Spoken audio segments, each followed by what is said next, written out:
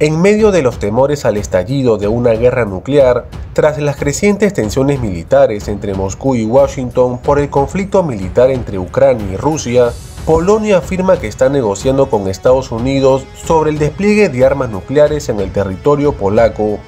En una entrevista concedida con la revista polaca Gazeta Polska, el presidente de Polonia, Andrzej Duda, declaró que el debate sobre el posible despliegue de armas nucleares de Estados Unidos en el territorio polaco es un tema abierto y confirmó las conversaciones con las autoridades estadounidenses al respecto.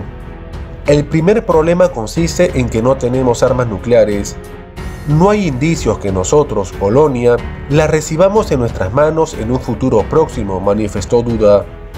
Al desarrollar su postura el jefe del Estado polaco señaló que según el llamado Programa de Compartición Nuclear de la Organización del Tratado del Atlántico Norte OTAN, que permite a los países miembros de la alianza militar que no tienen armas nucleares propias obtenerlas, desplegarlas y utilizarlas en caso de necesidad.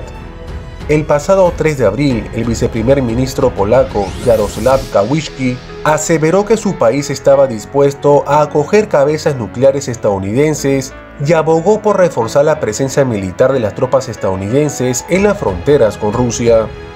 Las declaraciones de duda se producen mientras Varsovia es parte del Tratado de No Proliferación Nuclear, TNP, un documento considerado como una piedra angular de la seguridad mundial.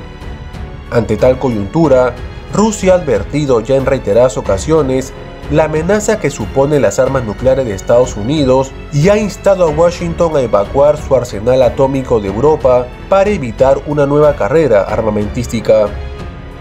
Al respecto, el expresidente y ahora vicepresidente del Consejo de Seguridad de Rusia, Dmitry Medvedev, ha alertado que Estados Unidos aprovecha la guerra en Ucrania para desarrollar su idea de crear una distopía nuclear, por lo que ha impulsado un juego primitivo tras la caída de la Unión Soviética en 1991. De acuerdo a la información que les he presentado, no se olviden de dejar su comentario o punto de vista, ya que su opinión es muy importante para nosotros. No te olvides de suscribirte al canal y muy importante, activar la campana de notificaciones para que se te notifique cuando publiquemos un nuevo video. Gracias por visitar Krause Rage Games, donde tú siempre estarás informado.